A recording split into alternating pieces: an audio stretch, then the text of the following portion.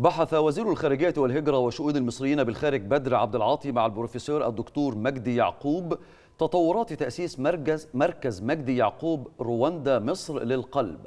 جاء ذلك في مستهل زيارته الحالية إلى كيجالي للمشاركة في مراسم تنصيب الرئيس الرواندي بول كاجامي. هذا ومن المقرر أن يعقد وزير الخارجية خلال الزيارة لقاءات مع عدد من المسؤولين المشاركين في مراسم التنصيب كما ستمتد الزيارة لتشمل عددا من الفعاليات الثنائية.